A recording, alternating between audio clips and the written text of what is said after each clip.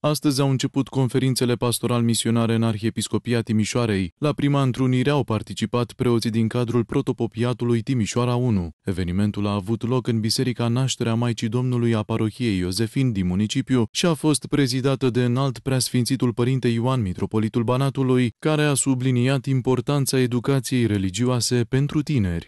Preotul nu predă la Politehnică, ci el predă la universitatea, la școala veșniciei, la școala nemuririi întemeiată de Hristos.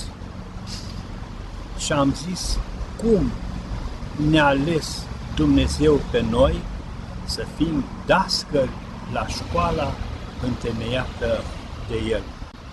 Dacă celelalte învățături de la științele pozitive astăzi sunt valabile și mâine nu, tot ceea ce se predă la această școală a nemuririi, a veșniciei întemeiate de Hristos, acele învățături rămân valabile veșnic. Tema de astăzi se circumscrie pe două planuri. Întâi este referatul cu tema propriu-zisă despre problemele pe care le uh, impune acest factor educativ care, după cum bine știm, este denumit, consacrat funcția învățătorească a bisericii, problemele tineretului de astăzi, pericolele pe care le prezintă viața secularizată a societății vis-a-vis -vis de educația religioasă a tineretului nostru, iar în partea a doua se discută despre rânduieli bisericești, cum ar fi